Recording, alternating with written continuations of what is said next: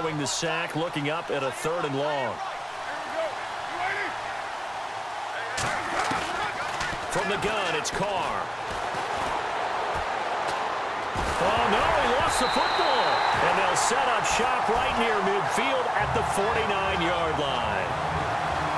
That feels like an accumulation of the pressure we've seen all game. I mean, he's been on the turf a whole lot because of sacks. Eventually, something else happens as well, and this time it was a turnover. Yeah, caught up to him.